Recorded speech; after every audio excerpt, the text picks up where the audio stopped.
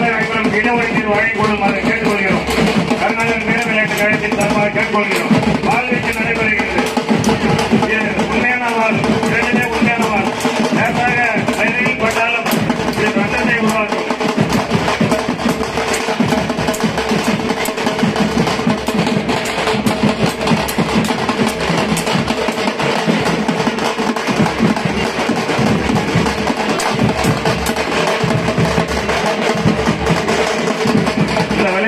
மூலமாக